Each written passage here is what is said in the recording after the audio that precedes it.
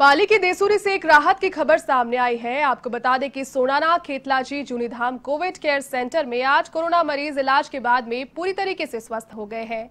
इन आठ मरीजों को डिस्चार्ज कर उनके घर भी भेज दिया गया है। इस दौरान ट्रस्ट के पदाधिकारी और डॉक्टर्स ने पुष्प वर्षा कर इनका सम्मान किया। साथ ही में चौदह दिन तक होम क्वारंटीन रहने के निर्देश भी इन्हें दिए।